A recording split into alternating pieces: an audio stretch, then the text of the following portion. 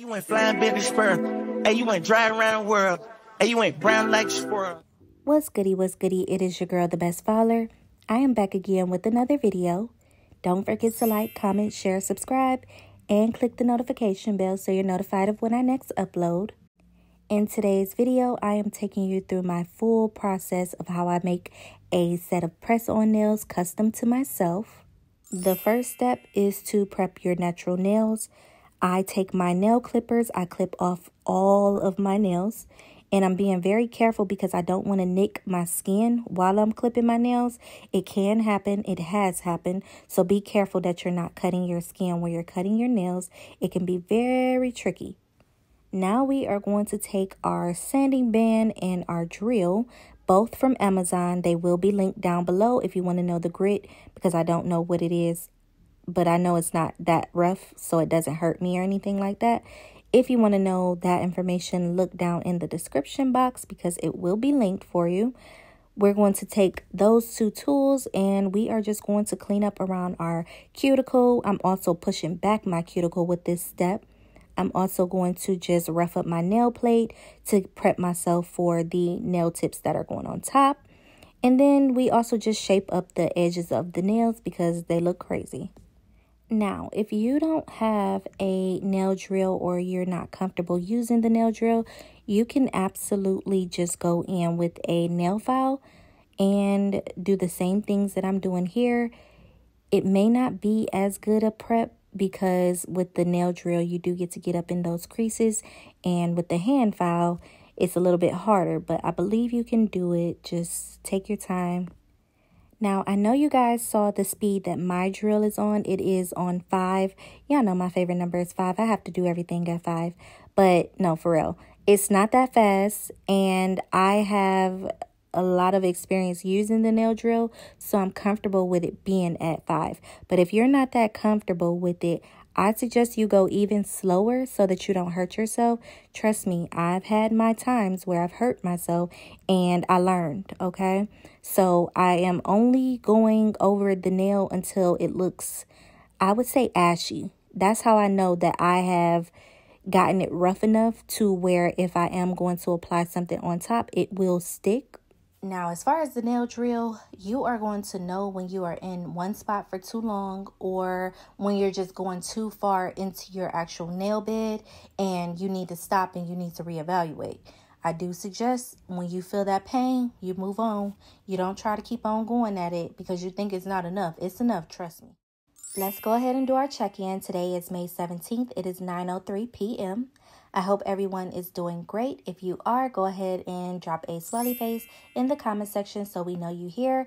If you're not having the best day, I do hope that my video brings you some joy. Step two, we are going to apply our full cover nail tips. These are in the shape extra long stiletto. I got them from Amazon and they are clear as you can see. I kind of already know my sizes. I've actually written them down, but as you can see, I am out of a couple of sizes. So I did have to measure this time around. Now, when you are using full cover nail tips or any tips for that matter, you want to make sure it fits from sidewall to sidewall.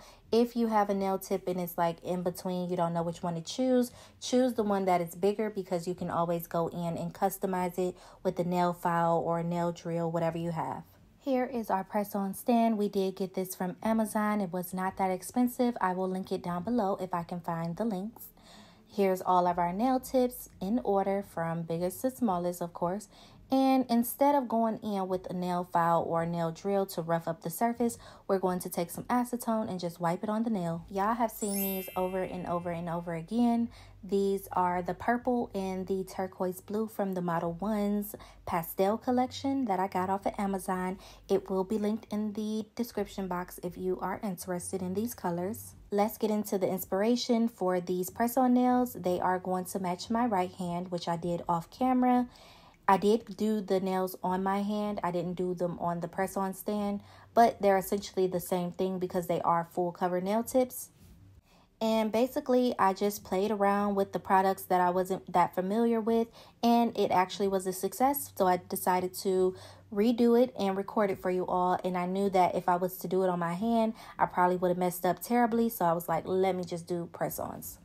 I also took inspiration from this design from Tracy Nails. I had it in my camera roll for the longest and I did take inspiration from her shapes as to what shapes I was going to use on mine. I just, of course, didn't do all of the colors and everything that she's done. But shout out to Tracy Nails on Instagram because this set is really cute. Just so you all know, I go in with two coats per nail minus the middle nail which originally I left blank because I didn't know if I wanted to put color on the background or just leave it blank. I did eventually add color. I only do one coat for the middle nail but the rest of them do have two coats. Now this polish it is from Amazon. It came in a set. It is a chrome without the powder so it's a chrome polish and I can absolutely not pronounce that name for that brand. So I will link it down below for you all if you would like it. I didn't have my normal chromes to go over the top of a purple, so I figured I would pull these polishes out, and this one matched perfectly. I feel like it gives it that perfect pizzazz that it needs to just stand out even more. How are we feeling about these colors? This purple and turquoise together, is this a good combination? Would you guys rock this press on set if you had the opportunity to? Go ahead and let me know your answer in the comment section. I said I didn't have a chrome powder for that purple. Now this turquoise is a different story. We got that. This is a chrome powder from Born Pretty. We used it in our last video, possibly. I'm not for certain, but I think we did. It is a very pretty color and the camera is not doing it any justice, but I do use this as a topper for the turquoise nails. I will admit I did forget to link the chrome powders on my last video. If I can find the link, I will go ahead and add it for you all. If not, you might have to go with those chrome polishes. Now we are going to do a marble nail on the middle finger. We take our base coat and our dotting tool. We take the base coat, apply a layer. We don't cure it. Then we go in with the dotting tool and the turquoise and the chrome polish and we mix them all up on the nail until we can't mix anymore. We just want specks here and there, nothing too major. And that is how you create a marble nail. If you didn't know, now you know. I love a good marble nail. It gives you the opportunity to use multitude of colors and just create. It doesn't have to come out looking a special way. So it's like the easiest design for beginners or just for nail sets period. Raise your hand if you remember this crazy product. Okay, good. I'm glad y'all familiar. We got the Subway Solid Building Gel in the color Clear. It says non-stick, but okay. We are going to try this again. This time around, we did our thing. As y'all can see on my right hand, it doesn't look that bad. And I did use this product. So, this time we are using our dotting tool to mold it, to pick it up. We're not using our hands. Every now and again, we do have to go in and flatten it out because it's 3D gel. So, it's like real high, but we don't want it that high. So we did use our hands a little bit, but not to initially mold it. We just put it on the nail. We take that dotting tool and we shape it into the shape that we want. And I try not to do crazy hard designs. I try to keep it very simple because y'all know this product gave us hell last time. If you have not already seen that video, I would suggest you go watch it after this one because we've came a long way. This nail art came out a lot bigger than on my right hand, but I don't mind. I think it still looks really good. I tried to keep it similar, but not too similar. But everything came out perfectly fine with this nail art. I was so happy because y'all know we be having our struggles, but this one was a win, and I'm really happy about that. Now, where have I been? I haven't really been anywhere. I just haven't been inspired to create. But I am out of that funk now, as you can see. I just got to have the time to do these voiceovers and get this content out to you guys. So, more videos on the way. If you haven't already, go check out our old videos because we got about 50 of them in the vote. And then shout out to our new subscribers because we have 93 subscribers, y'all. Last year we had like maybe 13. This year, 93. We are doing our thing. Thank you so much. Now that we are all caught up, I am going to just be quiet. If I feel there's anything else that I need to say to you all, I will pop in. Otherwise, I'm going to play some music. So relax, enjoy, and I will be back.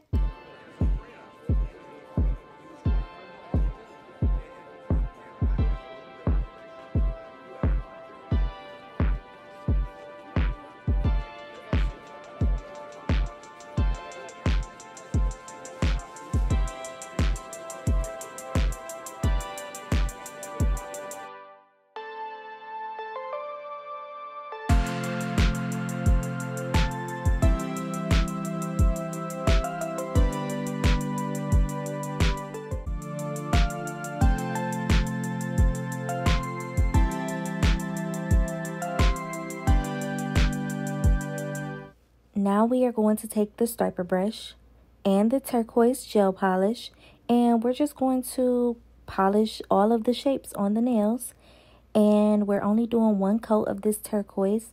I'm not trying to get it super perfect but I will say that the striper brush does help out to just get into those little crevices and creases. So if you have one, this is the time to use it.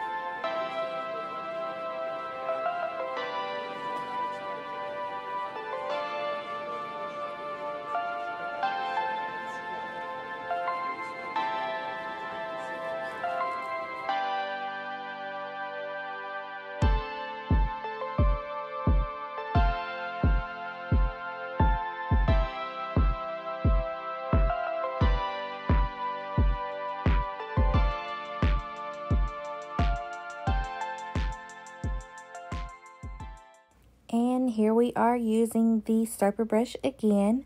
This time we are going in with the purple polish and just coloring all of the shapes once again.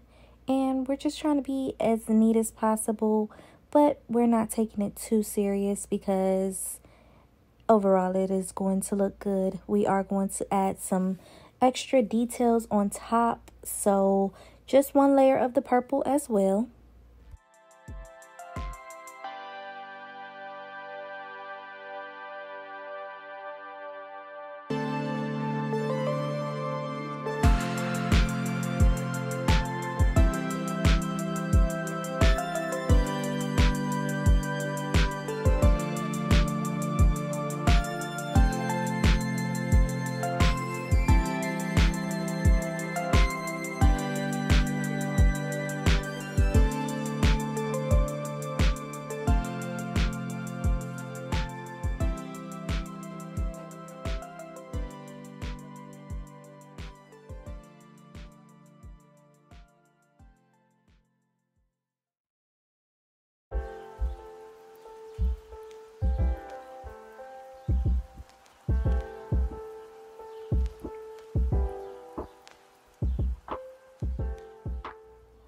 We are going in with the Beetles white polish and we're just adding a couple of different details to the actual shapes of the nails to make it pop a little bit more. A little polka dot here a little line work there. Nothing too crazy nothing too major. We are going in between our dotting tool and our striping brush to add those details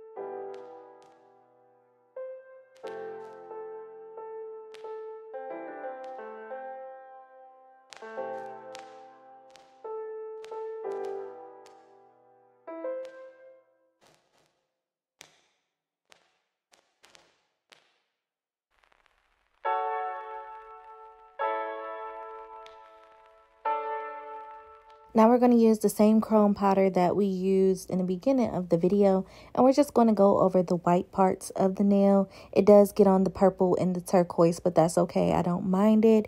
I just wanted to make that white pop a little bit more. And I decided to go in with the chrome powder to do that.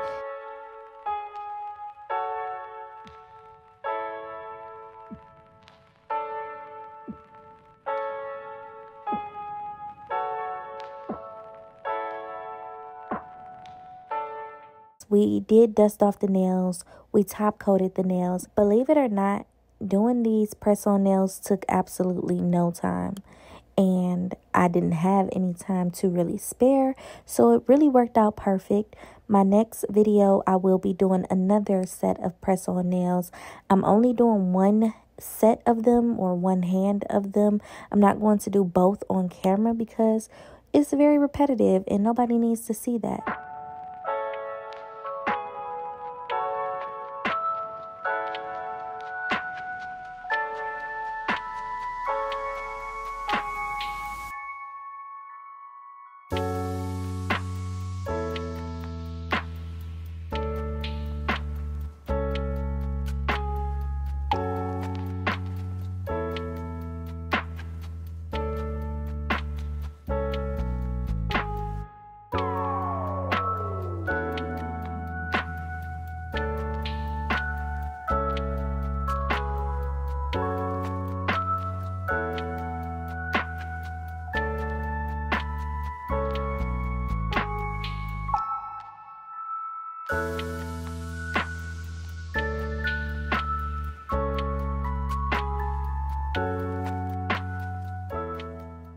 And now we're just going to apply them using our nail glue.